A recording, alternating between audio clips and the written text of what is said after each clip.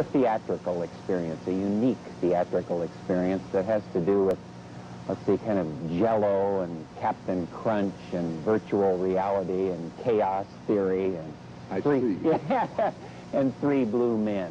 Do not adjust your set.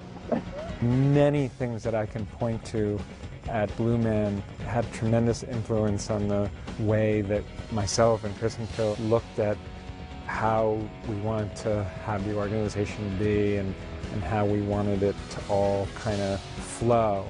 It's a strange place. Certainly one of the things was the fact of having done about you know 1,300 shows in a row. It definitely puts into your head a certain way of how you want shows to run and how you want it to be on stage and off stage. The show is entitled Tubes. It was just, what, what else are we going to call it? And you know, they, you, you have a deadline for when you have to have a title by. Because it has to get printed in the playbill and And, all the right, ads. and usually you're, you're working on other things that are more important. So you usually about like five minutes to come up with the title, and you know, you go, two? Look around. Okay.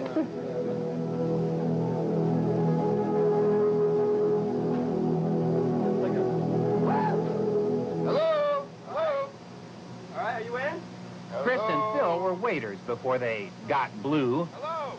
Chris and Phil uh, used to take one of our goods, which is the crepe and cheese, basically a crepe that is wrapped in blue cheese, and they used to throw it on each other and catch it with, you know, with the mouth wide open. These skills would later prove useful in the theater.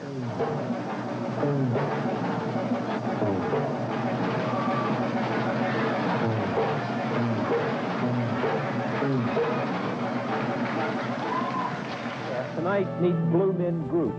From deconstructionism to Cap'n Crunch cereal, Blue Man Group has had a lot to say about the culture we live in. What was the operative idea when you began? We didn't want to sit around waiting for some agent to discover us or for, we just wanted to go out. We had some things to say. We had some things we wanted to express. We didn't know how to do it, and we just did it. Why blue rather than red? Or why blue rather than yellow? Well, I think Chris really had this initial image of this bald and blue character. Right. It's, it was afterward that we thought, well, you know, red and yellow, all these other colors kind of have other kind of baggage associated with them, and blue is like earth. I think early on, the show was sustained for the first six months just on word of mouth.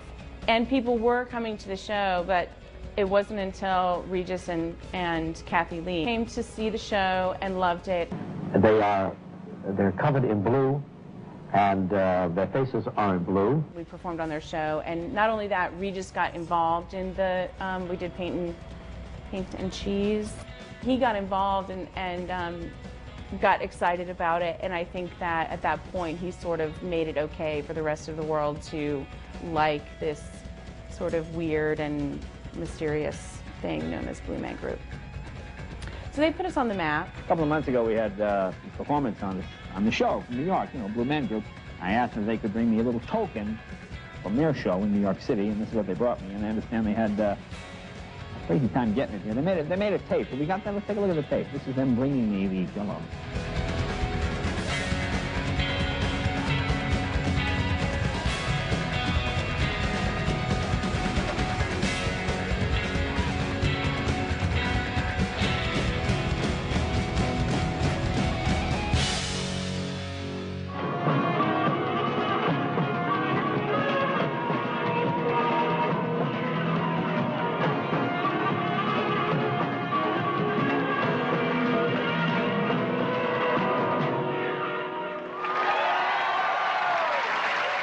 I found it interesting in terms of Blue Man history and milestone how many shows Chris Matt and Phil did before anyone else was introduced uh, to the part.